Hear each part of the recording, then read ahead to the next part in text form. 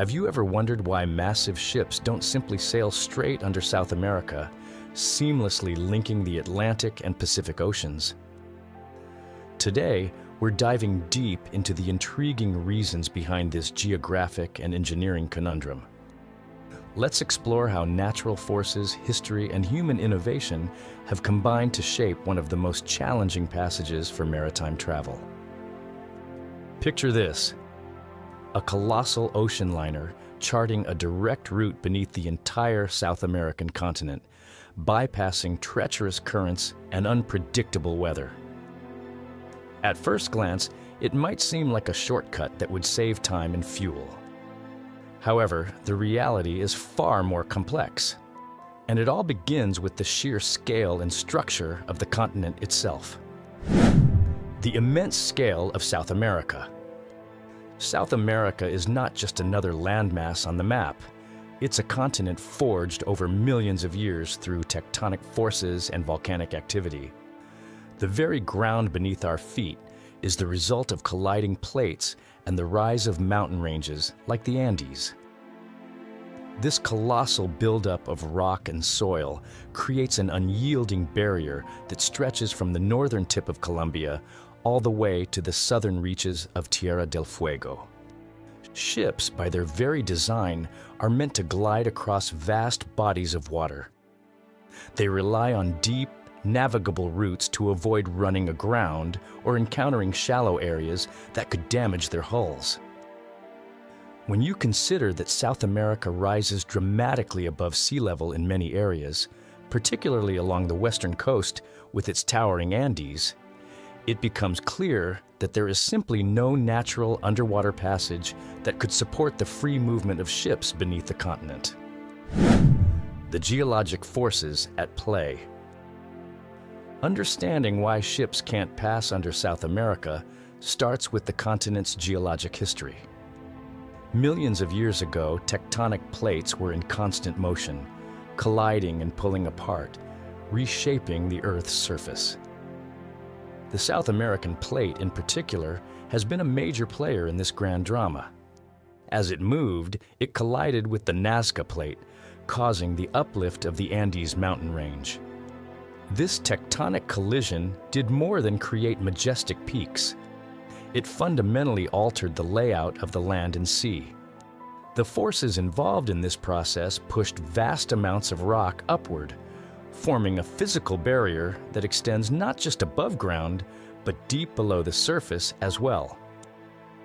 The underlying crust in this region is thicker and more stable than the surrounding oceanic crust.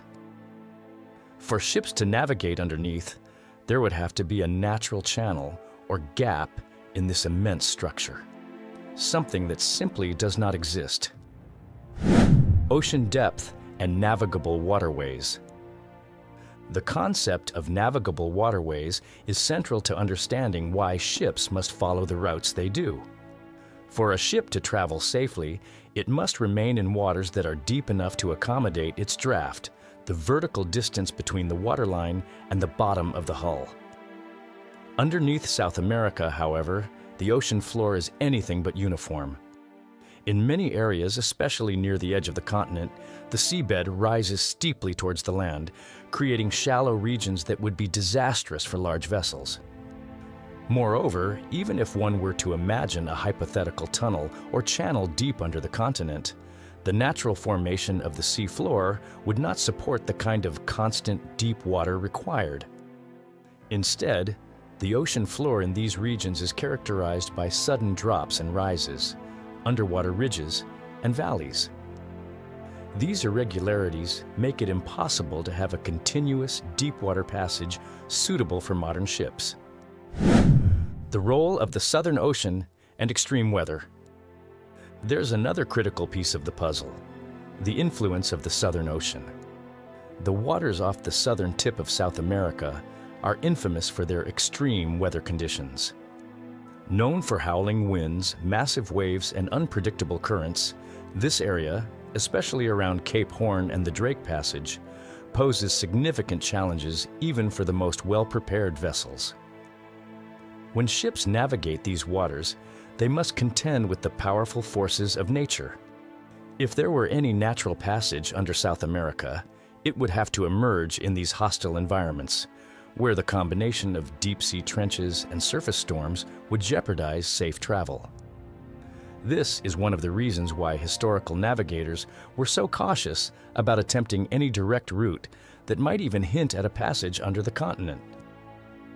They learned early on that nature's obstacles were not easily circumvented. Historical attempts and the quest for a shortcut. Before modern engineering made significant strides in linking oceans, sailors and explorers were always on the lookout for shorter and safer routes. The lure of bypassing the dangerous circumnavigation of South America's tip was strong.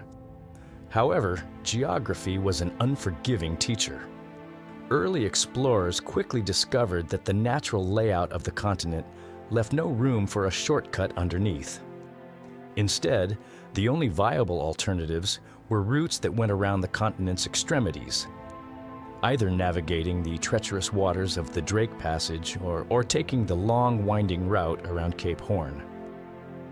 Both options presented their own set of hazards, from unpredictable weather to rocky shorelines.